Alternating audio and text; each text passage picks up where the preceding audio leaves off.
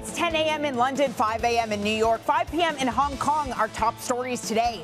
A string of critical economic this day, this data this week wraps up with the U.S. jobs report. If we can get there, Yellow's bankruptcy and a strike in Hollywood likely created a drag on hiring. So as we move past that critical data, we're also going to be looking at the ECB's dilemma. We've had data come in there too, and plenty of ECB speak. Finally, the data also improves in China at the same time. Manufacturing looks better as China moves to ramp up its efforts to support its economy and its currency. Well, good morning, everyone. You made it to Friday. This is Bloomberg Surveillance, the early edition. I'm Dani Burger in London. Simone Foxman is in New York. Simone, I don't get the long weekend. Um, I guess I don't need it since I was just on holiday, but for those that do, you really had to work for it given the twists and turns between markets and, and all the data deluge we've gotten this week. Yeah, I've certainly been working for it all week, but uh, there's lots of conflicting data out there. How much are we going to get an impact of this Taylor Swift, Beyonce driven economy? How much are we going to see the impact of the yellow bankruptcy, et cetera? We may get some sign of that this morning. We're looking at stocks, uh, S&P futures pointing slightly higher. Of course, all eyes on that crucial jobs report the expectation is for non-farm payrolls to rise by 170,000. That would keep the unemployment rate at 3.5%. So we're paying a lot of attention to that. U.S. two years held their gain, uh, yields under 4.9% as we speak, and the dollar index slightly higher here, just a touch. Kit Juckes of SocGen telling us earlier this week, however, that if we see a particularly strong jobs data number, we could see the dollar rally. Uh, of course, watching Brent crude, $87, $87.30 a barrel here, supported by Russia agreeing to extend its OPEC uh, cuts, its production cuts, excuse me. But as you mentioned, Labor Day weekend, Dani, folks in the United States taking to the road, and they are nearing, um, according to AAA, a record high for prices that they are going to pay at the pump on a seasonally adjusted basis.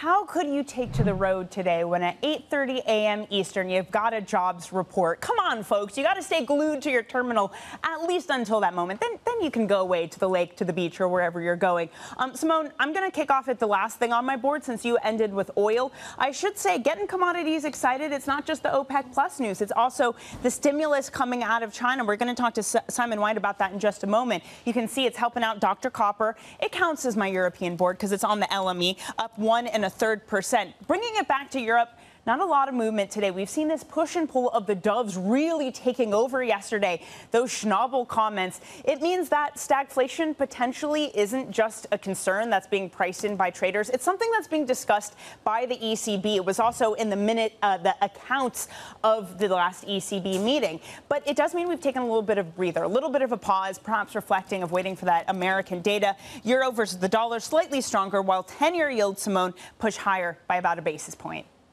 Thanks, Dani. Yeah, let's turn to China as the country intensifies its efforts to stimulate the economy and support its currency. Joining us now to discuss is Bloomberg macro strategist Simon White. Um, Simon, talk me through some of the latest moves uh, by the Chinese government here to support their economy. Uh, sure, yeah. I mean, they're trying to achieve uh, at least three things. So they want to stabilize their currency. Uh, so we saw the um, reduction in the um, foreign exchange required reserve ratio to do that. Uh, we also they want to support the property market. You know, it's a really big issue in China. Uh, they want to prevent a debt deflation.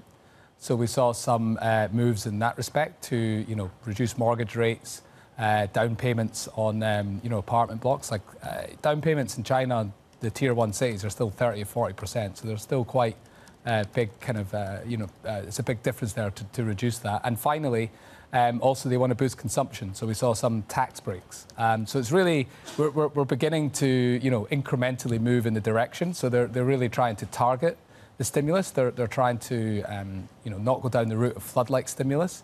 Um, but really, it's building. Um, and at some point, I think uh, it might even have a tipping point effect, and it, it really does begin to, to bite. We're not there yet, but they, they really are trying to do a, a big deal here. It does seem like markets have started to move in that direction. At least China related markets are kind of the only thing moving today because we're, we're still just waiting for that U.S. jobs report. Help us set things up for the U.S. What's at stake here with this set of data? Yeah, I mean, look, it's going to be very tricky for there to be, um, you know, a very positive number. Seasonally, it's very negative, uh, August, for payrolls. Um, but really, if you look at the trend, the, the year-on-year trend of payrolls, it's trending down. It's been trending down quite sharply. Um, at the current trend, you get a negative number by uh, the end of the year, a negative payrolls print on the month. Um, but you might get one earlier. If, you know, we, have now got strikes coming through, so that's really mm. putting negative pressure. But the things I'm watching are temporary help and average hour works. So they're the more leading aspects of the jobs report. So both have been declining. Temporary help is uh, contracting on an annual basis already, mm. and hours worked has been uh, steadily declining over the last like year, year and a half. Um, so I'm going to be looking to them because people tend to cut hours before they sack people, and they tend to cut the temporary workers before they do a proper layoff. So they're really the more leading parts and the more interesting parts of the report. Hmm, don't you think the bond bears are just going to have to send Taylor Swift a thank you message? Yeah, Saying, Thanks yeah. for making sure the numbers didn't cool off too yeah, much. exactly, exactly. that story's crazy. We're going to talk about it more throughout the show because um, probably the most fun aspect of the jobs report. Simon, yeah. thank you so much. Simon White there breaking it down for us. We also had a slew of data already out of Europe. It was manufacturing PMI. Uh, the region continues its sustained contraction. Perhaps no surprise there. Joining us now is Bloomberg's European correspondent, Maria Tadeo. Maria, we knew it was going to be bad. How bad was it? Uh, we knew it was going to be bad because this manufacturing picture for the euro area has been a dismal one for months uh, now. A lot of that pegged in, in conjunction with uh, the energy crisis, which, as you know very well, has really shaken a lot of the industrial names uh, in Europe. Now, when you look at the numbers that we got today, PMIs, manufacturing PMIs for August, you look at the euro area, you look at Italy, you look at Spain, you look at France, they are obviously in contraction, but obviously come in deeper in contraction compared to the estimates. So they're all hovering, of course, uh, below that 50 mark, but also going further below compared to those estimates, perhaps suggesting that the pain is not moving anywhere uh, when it comes to the euro area. The other number that I would point to is, of course, the German manufacturing data that we also got today. It's really stuck in that deep contraction uh, threshold below 40 for those PMIs. This is still a story that is hurting the biggest uh, economy in Europe. And again, it is a paints a complicated picture for growth. Some of that also confirmed with the Italian GDP numbers that we got again pointing to an economy that is in deceleration. And there's still the biggest question, which is what happens in the back end of the year? Do we get a downturn that further manifests in the euro area? A lot of this, of course, complicated matters for the European Central Bank, which, as you know, focuses and will focus on that 2% inflation target. But obviously, they operate in a macro environment where now it is very clear it's pointing to the downside. To me, I'll be very interested and curious to see those new forecasts and projections by the ECB in September in terms of the trend over the medium term, just how dire they predict how the European economy will be over that near term. Maria, we had Robert Holzmann of the ECB talking about how the bank shouldn't pause in September, should continue to hike. But at the same time, we've got Morgan Stanley saying they've erased their projections of a hike going forward. How are the other governing council members positioning? Yeah, Morgan Stanley has changed its call. They say now that they do not expect a rate hike in September. Remember, this is an open field between that hold or a hike uh, by the European Central Bank. What they cite is the kind of data that I just uh, referred to, uh, this weaker economic growth for the euro area, coupled with the fact that it does seem that some of the services inflation seems to be cooling. Putting all of that together, the ECB could make a case to hold in September. I should say, I still talk to people who say they still believe there would be a final one in September. So again, some of that debate I'm pretty sure will linger almost all the way to decision day. And then that takes me to some of the commentary that we've had over the, well, recent days, but also will continue, expected to continue next week because a lot of governing council members are expected uh, to deliver speeches. When you listen to the French uh, head of the central bank, uh, Villeroy de Galhau, he says that at this point he has not made his mind uh, yet going into that September decision. So again, a lot of that uh, still seems to be pending in this governing council. To me, it seems that again, this will be a decision that is going to keep us on our toes, which is great news for us, of course, I guess, uh, working at Bloomberg TV until that decision they expected on September 14th. But again, we're getting to a point where it's almost every data point uh, matters, and we have to look at every piece of data that we get all the way to that September meeting. Come on, Maria, you get enough sleepless nights. We could use more certainty in this world. uh, it's, a, it's a good point. I didn't want to say it, but you said it. okay. Maria Tadeo, thank you so much for that. As always, we're going to hear from Maria a little bit later in the show, too. All right, let's turn to geopolitics. Russian President Vladimir Putin is moving quickly to take control of the deceased Wagner chief Yevgeny Prigozhin's operations in Africa and the Middle East. Joining us now is Marc Champion of Bloomberg Opinion. Um, Marc, what can you tell us about what exactly Putin is doing in this instance? Uh, well, so there is a large, by now, uh, network of operations that was run by Wagner. Um, and this was a, a, sort of arm's length operation funded by the Kremlin, often following Kremlin uh, foreign po policy uh, priorities, but also a money making business uh, for Prigozhin uh, and for the state. Um, and there was an element of deniability there. Um, Wagner um, was, you know, both very effective, but it was also uh, as a tool, but it was also quite controversial. Um, it was, you know, uh, singled out in uh, accusations of murder, rape, etc. Um, and uh, uh, so now, uh, now that you know Prigozhin is dead, um, and some of the other top leaders and founders of the organization are dead, the state is trying to absorb Wagner, and these will now become Russian operations. Mm. Uh, so they're not going to go away. Uh, they could even deepen. They could even become uh, better funded. What we don't know is how you know uh, all of the Wagner units will will respond. Um, we don't know uh, if they'll all want to join the defense ministry, if they won't. Um, but they're fairly well paid. They're mercenaries. No doubt the government will continue to do that. Um, this is a very valuable operation. Um, and I think the essential thing to think about, you know, to understand about it is that the, the deniability is probably not uh, worth as much as it was before the war in Ukraine. By now, um, you know, trying to maintain image uh, is not yeah, extremely right. important. Um, so, uh, you know, uh, yes, in, in one sense, there's change and no change. Mark, speaking of image, uh, Putin has already confirmed he won't be attending next week's G10, G20 meeting uh, in New Delhi. Um, but actually, now it appears that Chinese President Xi Jinping, according to Bloomberg reports, won't be expected to attend either. Uh, what does Xi's absence mean for the summit? Yeah, it's a, it's a very interesting question. I mean, it's a G20 summit, so uh, it's uh, you know one of these events that will uh, end with a statement, and there'll be a lot of argument over the text and so on. Um, in terms of you know what comes out as a statement, it, it may not make a lot of difference at all. Um, it will matter to uh, Narendra Modi, the, uh, uh, you know, the leader in India, um, who, for whom this will be a bit of a snub. Um, not having uh, there uh, will also be a kind of devaluation of the G20. China is by now, uh, you know, it, it, at least the second most important country to, uh, to attend after the United States. Um, so, you know, in those senses, um, it, and it is interesting that he was willing to go to the BRICS summit, uh, which expanded uh, in a way that China wanted, um, and where China is really the dominant player. Uh, and he was willing to go and do that, uh, but he's not willing to go to India, where you know he has a lot of different tensions. He'll be won't be the dominant player. He'll be one of them. Yeah, such an interesting point, Marc. Thank you so much. That's Marc Champion of Bloomberg Opinion.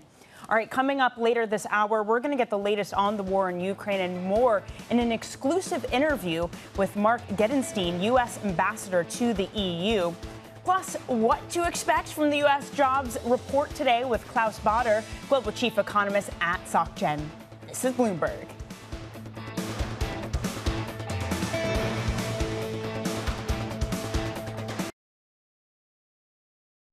All eyes are on the U.S. jobs report. We're still seeing some lingering effects of the pandemic on the jobs market. There has been a shift to labor, and it doesn't seem to be diminishing. This labor market is still tight, tight, tight. Today, the surveillance team brings you the crucial jobs data and expert analysis at terminal speed. Are we beyond COVID? We are on that path to get to lower inflation by the end of the year. But then you look at the unemployment rate, you're looking at a problem for the Fed. The August jobs report.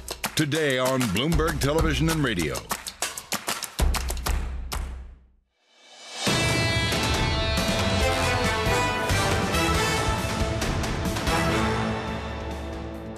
This is Bloomberg Surveillance Early Edition. I'm Dani Burger in London alongside Simone Foxman in New York. So Broadcom shares they're falling in the pre-market. The Apple chip supplier had given us a downbeat forecast, one enough to send shares lower by more than four and a half percent. Let's get the details with Matt Bloxham of Bloomberg Intelligence. Um, Matt, what drove this? Because it seems like there are some things that would help. The AI boom being yeah. a big one. Mm-hmm. So what was enough to counteract that? Well, I mean, pardon the pun, but you know, Broadcom is a very broad, Broad. business. I knew you were Um, going to go there. yeah, you are and, uh, forgiven. yeah, and so what you're seeing is good growth in the AI segment. Yeah, that's clearly where all of their demand is coming from. Um, but on the counter side, you know, they're a very big supplier to Apple. You know, the smartphone market in general is being quite soft this year, um, expected to continue to be a bit soft. So that's kind of counterbalancing uh, the overall trend. So you know, they saw sales growth of about 5% this quarter. Uh, they're forecasting about 5% growth next quarter, which is consistent with analyst expectations. Obviously, what we saw with Nvidia uh, and others was like a big beat on sales. So you know, the momentum is there from AI, but it's probably not as strong as it is with Nvidia, and it's being counteracted by some of these kind of more muted trends we're seeing elsewhere in the technology market. Matt, let's shift to the ARM IPO because it looks like we Mm. could get that in just a couple of weeks. Uh, September 13th, I believe, might be the date. Can the chip designer get the $70 billion valuation that they're looking for?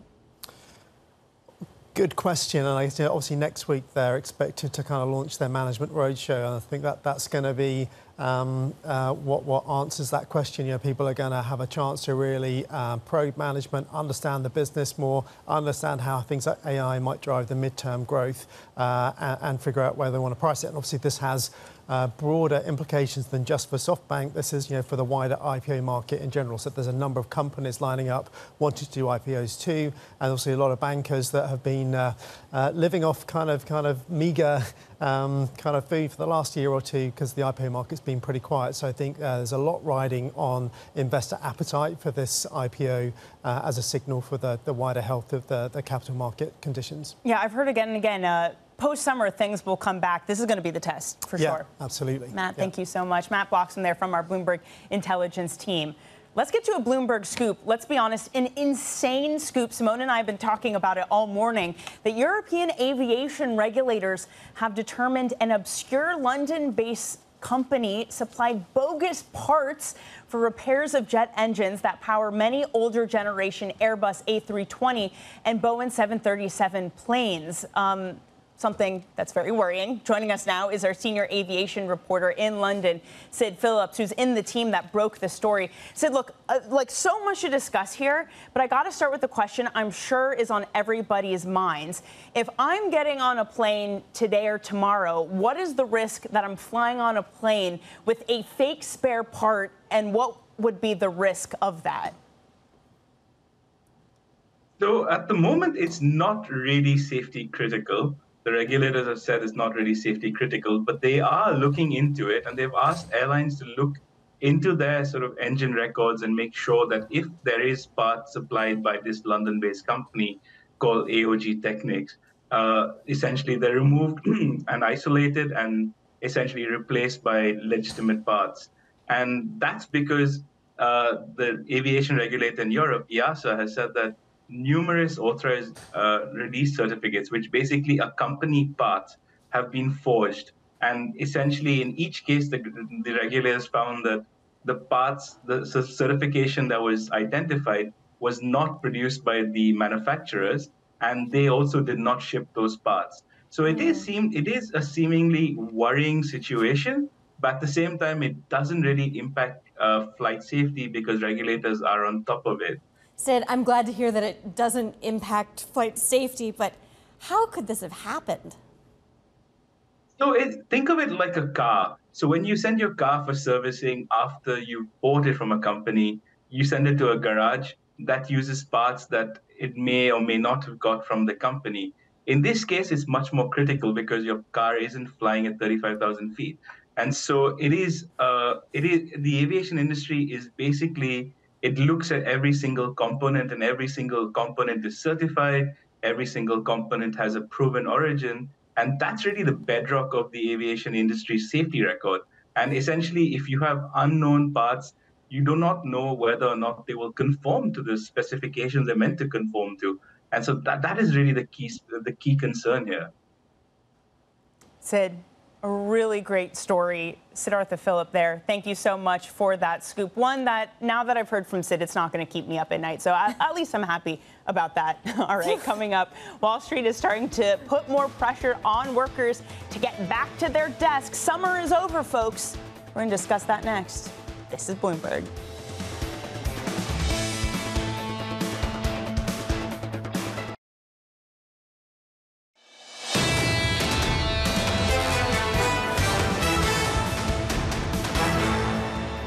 This is Bloomberg Surveillance Early Edition. I'm Dani Burger in London. Simone Foxman is in New York.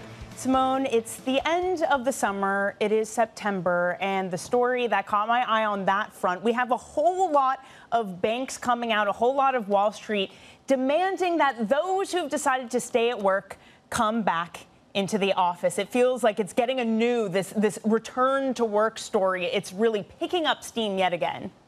Yeah, apparently return to office now coming up in mid-year review conversations uh, for bankers. Um, most banks determining you have to be back at least three, maybe four, sometimes five days a week. But Dani, I should mention, I don't think the summer is over until after Labor Day, I have to say. As someone who doesn't live in America anymore, I've lost all concept of time. But that sounds fair to me. It definitely does. All right, coming up, we're going to get back to the markets conversation with Klaus Baader, Global Chief Economist at Societe Generale. This is Bloomberg.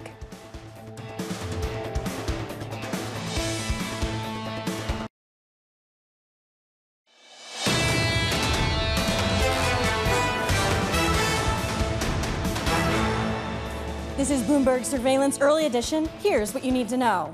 A string of critical economic data this week wraps up with the U.S. jobs report. Yellow's bankruptcy and a strike in Hollywood likely created a drag on hiring. Meanwhile, ECB officials are weighing their options as they decide whether or not to raise rates on September 14th.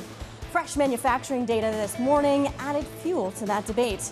And China ramps up efforts to support the economy and its currency. Sentiment also gets a boost from yet another set of manufacturing data that beats expectations. I'm Simone Foxman in New York with Dani Burger in London. You know, Dani, we've been so focused all week here in the U.S. on what is going to happen to this crucial jobs report, but I feel like there are so many more question marks right now in Europe. Yeah, um, a lot more concerning things in Europe, I should say. At least in the U.S., the data seems to be moving in the right direction. For Europe, it's not. Inflation is still stuck for many regions in that 5 to 6% range. Growth numbers still look bad. We had manufacturing PMIs that came in today, yet another set of contractionary results. And then you have not just Isabel Schnabel sounding something, talking about something that sounds a lot like stagflation. We also got the accounts yesterday of the ECB meeting where they talked about stagflation there too. This is not just a hypothetical being put forward by traders anymore. This is monetary policy setters talking about the risks of stagflation too. We had that traded to a large extent yesterday. The euro weakened by the most in about a month. It weakened about seven tenths of 1% versus the dollar. You also saw yields drop dramatically across the German curve, but of course, mostly on the front end. But now it is Friday. It is the first of a month, the first of a month when we're going to get American jobs data. So we've taken a breather on that price action. The euro, it is slightly stronger versus the dollar, not back at 109 yet, but we are stronger by about a tenth of 1%. We're also selling German bonds today across the across the curve. Those yields are higher by about a basis point. The other thread, Simone, that is giving us a boost in Europe, especially for metals listed on the London Metals Exchange, is what's happening out of China. We continue to get this drip feed of different regulation trying to stimulate growth. We've gotten more and more of it around the mortgage mar- market, a double R, a reserve ratio requirement cut too. All of that lifting copper about one and a third percent, Simone. Yeah, Dani, while there may be more question marks out of Europe, there's certainly a lot of focus on this jobs data, question marks about what will happen there. So is it enthusiasm that we're seeing in the S&P futures this morning? Is it enthusiasm about China? Is it the enthusiasm because everyone here has a long weekend for Labor Day coming up? Unclear, but we are positive after uh, the we ended the month, the end of the month of August, uh, with the S&P down about 1.8 percent. We're looking at two-year yields uh, falling very, very slightly, maintaining that level below 4.9 percent. We're now at 4.86. Uh, and the U.S. dollar sinking just a hair. We heard from Kit Juckes earlier this week. He was talking about how SocGen potentially could see the dollar rallying if we get a strong data number, even though the consensus is Fed's likely on pause uh, for the September meeting. And of course, watching Brent crude 87.52. This after Russia saying it would extend its production cuts that it's promised as part of OPEC Plus, uh, and also we have to keep in mind that folks are heading out on the road here in the United States, but they are now, according to AAA, going to pay a seasonal record or very close to a seasonal record uh, at the pump, despite the fact that crude prices have come off a bit uh, over the last year. It's concerning. It's concerning for this inflation picture, Simone, because we know how closely tied uh, consumers' idea of inflation is to the pump. Could we see, at, when we finally have the data coming in, a reacceleration of inflation driven by energy prices? All right, so we've had a lot of data to sift through this week, right? You and I have discussed it to a large extent, and so is Bloomberg opinion columnist Mohamed El-Erian. He says, though, that markets are overly data dependent. He spoke earlier with Francine Lacqua at the Cernobbio conference in Lake Como, Italy, about the economic challenges facing central bankers. So you have to start at the highest level, which is we are in a different global economy. We are in an economy facing insufficient supply as, to, as opposed to insufficient demand, which is what we had in the last decade. The minute you start with that, then rates are going to be higher for longer. Then you have all the commitments that were made when rates were very low that have to be refinanced, whether it is commercial real estate, whether it is the indebtedness of certain companies that have to be rolled over. And then if you keep on going, you end up with three very different risks. For the US, it's about financial fragility in the non banks. For Europe, it's about stagflation. And for China, it's about deflation. And it's a very different, fragmented outlook than what we've had before. I love that last comment, Simone, because it's this idea that during COVID, we had synchronization of global banks. We had easing policy to deal with that. As we've started and gotten further along the tightening cycle, which was also synchronized, things have changed. It's a story to end this year in the second half of global desynchronization. Well, the, to an extent, I mean, we're synchronized in a way, right? The U.S. consumer is pulling back. Uh, we've gotten a lot of signs of that in the last couple of days. In Europe, there are signs that the European consumer, the European manufacturing, uh, pulling back as well. And in China, uh, we've had this story for a long time that the Chinese recovery, uh, whether it's the Chinese traveler or Chinese business, just isn't coming back as quickly uh, as anyone anticipated. I mean, to Mohamed's point, um, there is this minimal amount of demand, and that's really the concern. We've just switched paradigms uh, in the past couple of years. When we talk about what exactly the recovery looks like, what exactly a recession looks like, this is the stat that, that stood out to me, Simone. Among households who use SNAP, so this is, of course, the food program for those at or below the poverty line, 42% skipped meals in August, 55% ate less because they couldn't afford food. That's more than doubles double of last year's share. Look, for a lot of America, the recession is already here. And especially heading into an election year, at some point you got to wonder do everyday Americans realize that what happens in the Eccles building is perhaps more important than what happens in the White House? At what point does the Fed also need to pause because a lot of the economic damage has already been done? Yeah, I mean, who cares about the numbers in that regard, right? And we've seen this play out over the course of the earnings season, seen strong results uh, from the likes of the higher end consumer oriented names, the Lululemons in the world. Um, but at the same time, you know, you see, you go to Dollar General, we saw shares there sink, I believe, like 12, 13% yesterday, um, in part because the low income consumer is just incredibly weak. So uh, we can talk as long as we want about the jobs market holding up, uh, even if it, even if we get a below consensus estimate, you know, 150 versus 170, that still means a pretty strong jobs market. But people just not feeling that, right? The demand not there on the lower income side. Yeah, and I, I, know you track the retailers really well. Um, how, how, much do you know about the shrinking story, Simone? I'd seen in a lot of these reports, right, that uh, a lot of the earnings that look poor was due to theft. Yeah, I mean, it, it's come out in, of, of, course, Dollar General, also come out in uh, Dick's Sporting Goods, uh, just some weird names. And, you know, the question there, um, maybe less about the consumer to an extent, um, but also about how much of this is are just companies not planning appropriately uh, in mm. order to manage some of these challenges.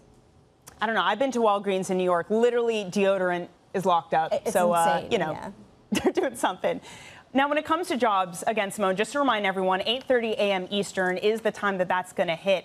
As for expectations, non-farm payrolls probably rose 170,000 in August, down from July's 187,000. The unemployment rate, though, that might stay at three and a half percent. Let's get to our guest. Joining us now is Klaus Baader, Global Chief Economist at SocGen. Klaus, thank you so much for running over. Thanks for joining Pleasure. us. Um, do you expect the data to, to confirm a trend of, of, softer labor market in the U.S.? Well, yes, sure, I do. Um, but you know, anything over 150,000 really has to be has to be classified as a very strong number because it substantially exceeds the natural growth rate of the U.S. labor force. And so, you know, clearly the labor market is softening. I mean, you have basically full employment, don't you? Three and a half percent unemployment rate, um, and still even though the tightness of the labor market, for instance, in terms of the ratio of vacancies to unemployed, is definitely coming back. You're still looking at a position, at a situation where for every unemployed person in the United States, you have 1.5 vacancies. Hmm. Is it fair to say that there's been a, a structural shift in this labor market when you look at things like the participation of female workers come down, um, boomer retirements, the gig economy. I mean, it seems like a lot has changed. To what degree is that reflected in, in data that remains stubbornly stronger? Oh, it's hard to say. You know, the labor market, of course, always changes. As uh, the economy, the structure of the economy changes, the labor market undergoes these changes. Certainly, baby boomer retirement is a big factor. And, um, you know, that's not a big, only a big factor in, in, the US, it's a big factor in the euro area as well. Um, as far as female labor participation rate is concerned, from what I understand, that's actually going up again. Oh, is it? Providing, yes, that's what I understand, although mm. don't necessarily quote me. I say on television. I was going to say, you're literally live now, Klaus. I know, I know. but, uh, um, I mean, the thing that I, puzzles me the most is this very subdued trend that's not only true in the United States of labor productivity, although mm. the latest US numbers are looking somewhat better. But uh, that's really, that's what I think is so puzzling. And that's why you have this incredibly tight labor market, whereas most economies are not fully back to the pre-COVID trend of GDP. And that is really a puzzle. I call it the, the labor market conundrum, for lack of a better term. Yeah, Klaus. Okay, let's let's consider the hypothetical here. We get a very strong uh, number, maybe 200,000 uh, new jobs added. Um, the question mark for the Fed at this point seems to not be really about September, uh, according to Wall Street. It seems to be about November. Um, how important is the data that we're going to get today uh, to changing the narrative on what we get? Not necessarily this month, but November. Does it override perhaps the softening uh, in terms of those consumer price index data? Um, yes, absolutely. You know, the, the, Fed, of course, has a dual mandate, um, full employment and, uh, and price stability. But that also means that they have a, a big focus on the labor market. And, you know, the, the Fed has done a lot, um, as many other central banks. Although, you know, you can debate whether, after all this tightening, whether monetary and financial conditions truly are tight. And if they are tight, you know, how tight are they? Um, so I think that this number is very, very important because the Fed has to see that its monetary policy tightening is having an impact on the labor market.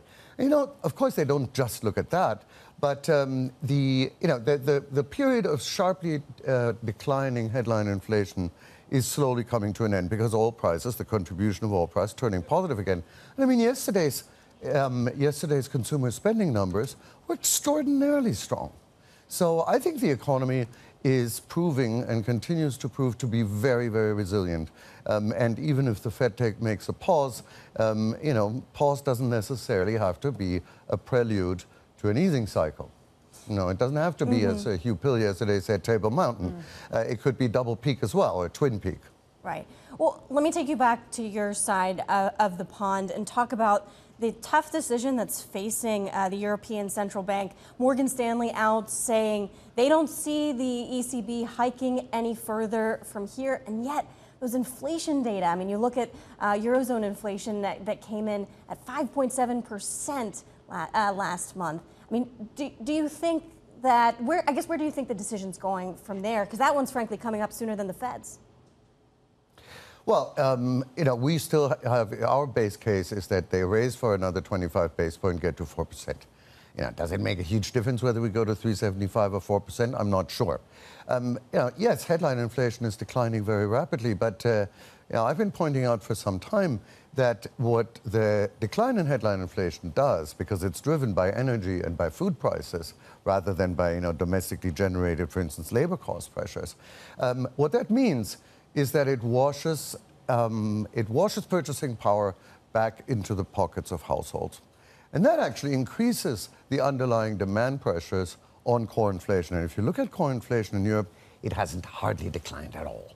Headline inflation is plummeting, core inflation is basically moving sideways. And that tells you, you know, eventually, uh, it, if the headline inflation goes well below the core rate, but it is, of course, going to converge back to it. And so I think, as far as the inflation picture is concerned, by no means are we out of the woods. Um, I think it's going to be yes, inflation's going to decline, but get to the central bank's inflation targets of 2%. I think that's still an absolutely Herculean task. Herculean task.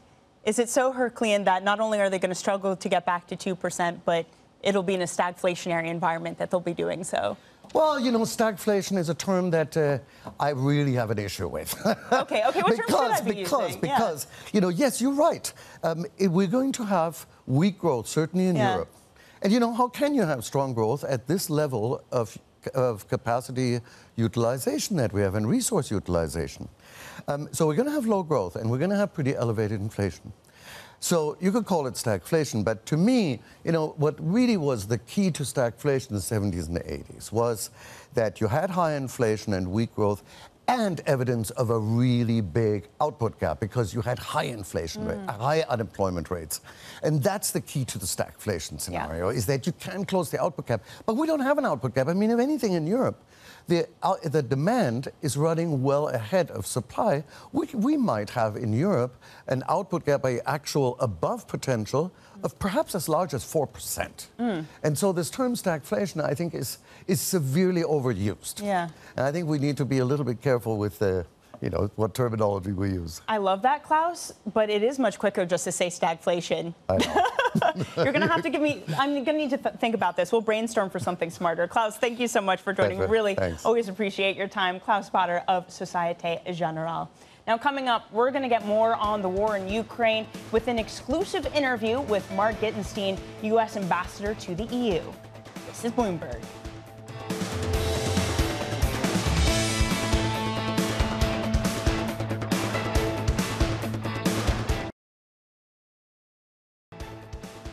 This is Bloomberg Surveillance Early Edition. You're looking live at the principal room. Coming up later today, an interview with Morgan Stanley's chief U.S. economist, Ellen Zentner. That's 7:30 a.m. New York, 12:30 p.m. London. This is Bloomberg.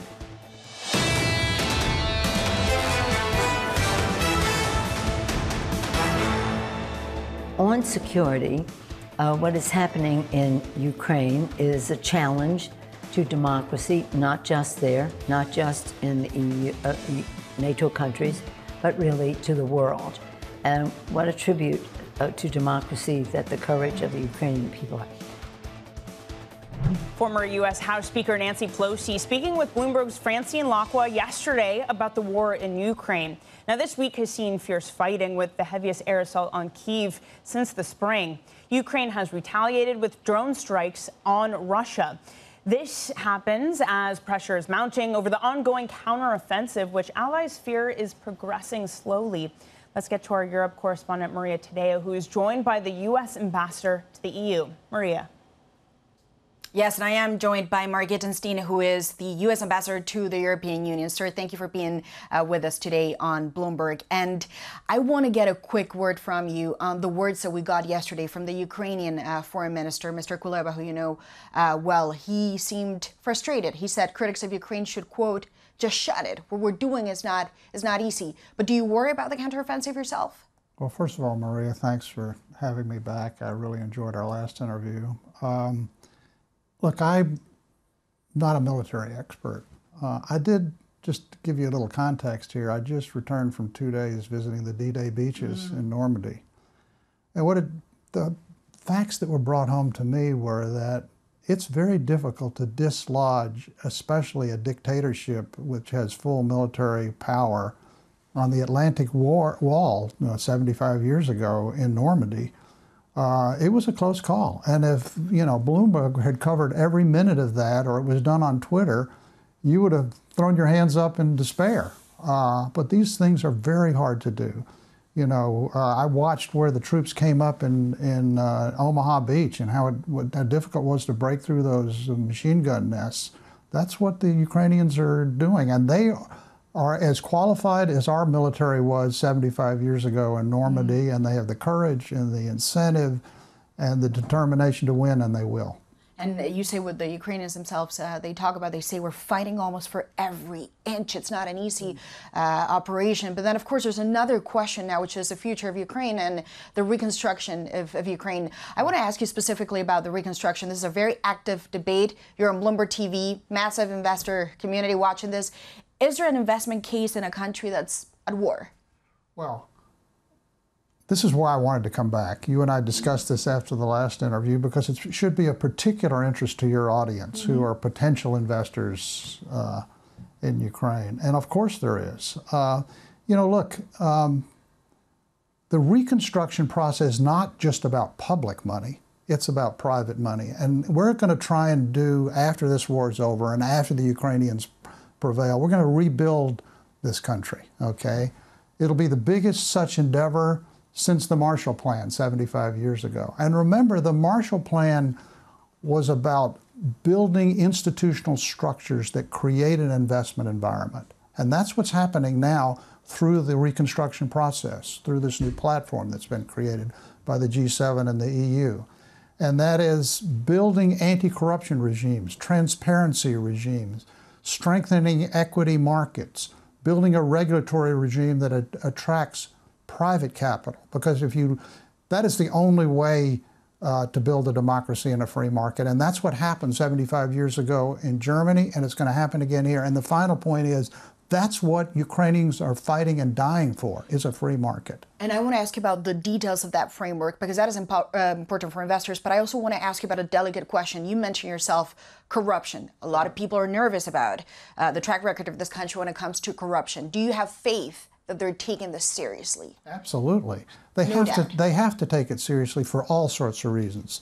All of the substantial amounts of public funds are conditioned upon Mhm. making those reforms.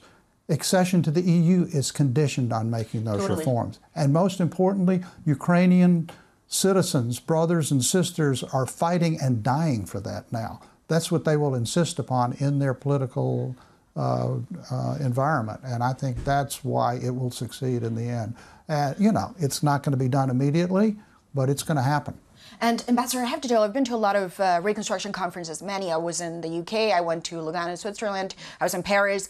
A lot of the investors that I talked to, what they say is, yes, there is a good intention behind it, but we don't have the practical tools. We're talking about wartime insurance. They worry about the technicalities of that. They also worry about some of just the everyday operations. What else can be done to reassure this investment community that's watching this that they have the practical tools they need on a daily basis? The most important set of tools they need. I've been in these boardrooms when they're Mhm. making an investment decision. In this, in my case, in Romania, you know, I was served as an ambassador there and on a couple of private boards there.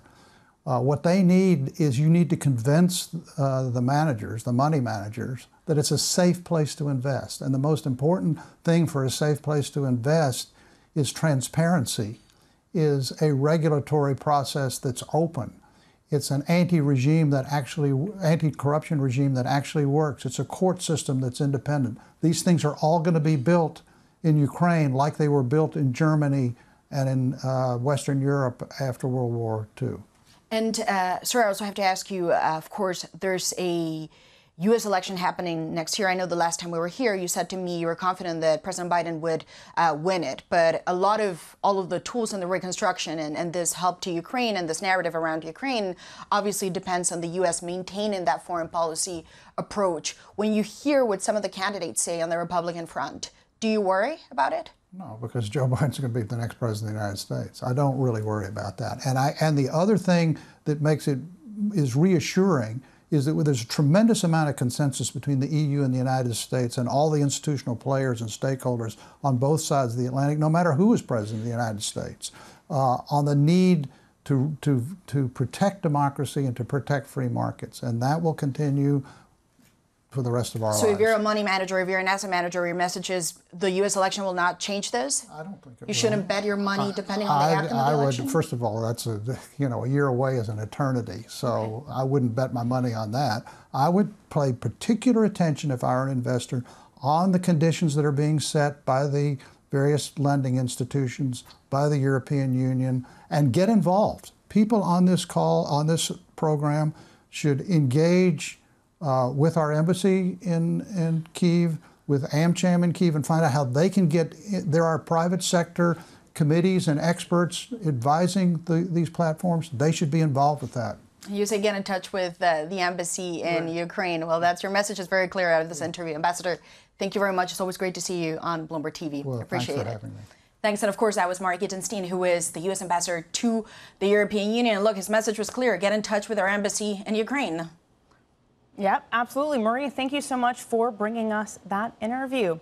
Hey, Simone, it was really great to spend the past week with you. Just two and a half hours to go until NFP is the average 170, the high estimate 300,000. That's right. We'll be paying close attention to that uh, on the next program, which is Bloomberg Surveillance. But that's it for the early edition as we leave you from New York, from London. This is Bloomberg.